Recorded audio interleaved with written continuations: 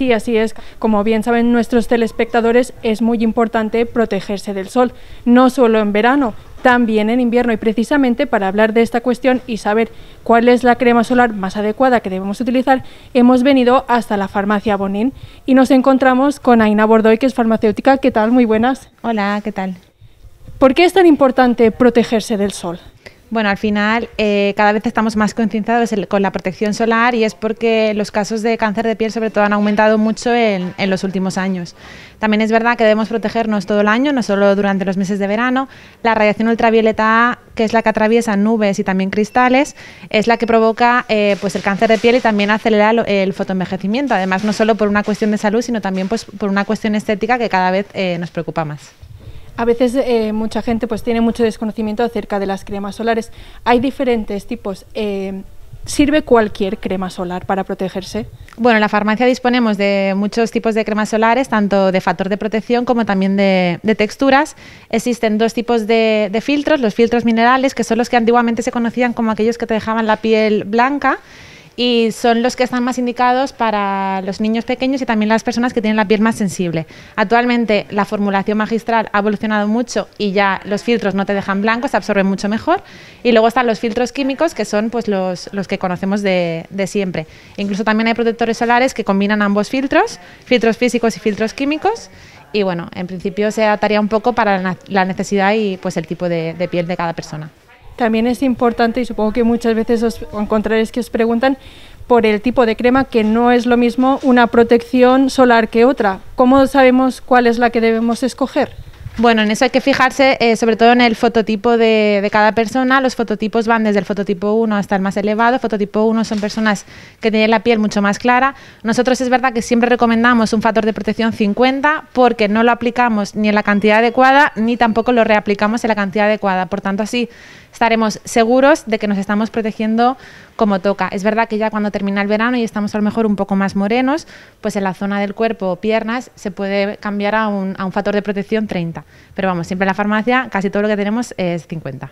Es importante también no usar eh, o usar una crema para diferentes partes del cuerpo, no siempre la misma.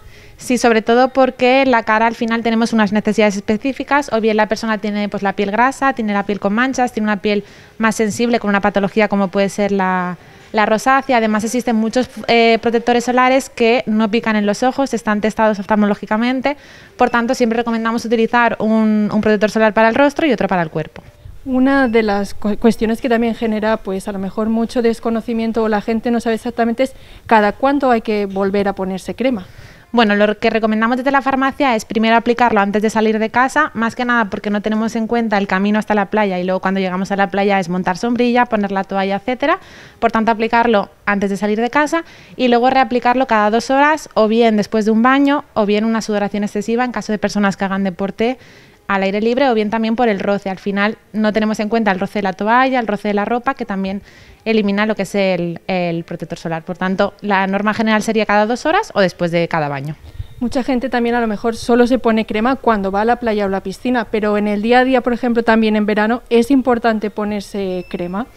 Sí, no, tenemos en cuenta pues cuando salimos a la, calle, vamos a comprar al supermercado, etcétera, esa radiación ultravioleta también nos está afectando y nos está dando, o incluso cuando vamos en el coche, que como hemos comentado, la radiación ultravioleta atraviesa los cristales y también afecta a nuestra piel. Por tanto, la recomendación sería protegerse del sol todos los días. También hay personas que utilizan estos aceites bronceadores para acelerar el proceso y ponerse más morenos. Eh, ¿Son peligrosos?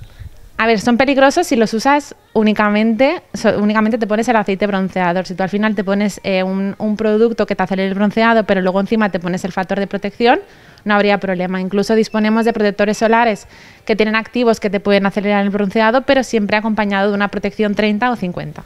Aina, ya para acabar, ¿las cremas caducan? A ver, las cremas solar hay que tener presente que caducan, tienen, hay que mirar el simbolito que está en, en el envase, que es el PAO, y normalmente suelen ser de 12 meses. Es decir, de un año para otro, pues habría que tirar el factor de protección. Si, por ejemplo, lo has abierto a final del verano, sobre el mes de septiembre, y lo empiezas a utilizar en mayo, posiblemente podría seguir utilizando el mismo. Si no está abierto el, envase, no lo hemos abierto durante el verano y se ha guardado en condiciones óptimas, pues no, no está caducado. Muchísimas gracias por estos consejos, Aina. Gracias a vosotros. Como veis, unos consejos muy útiles que esperamos que nuestros telespectadores pues hayan tomado consejos, sobre todo para disfrutar ahora de estas merecidas vacaciones.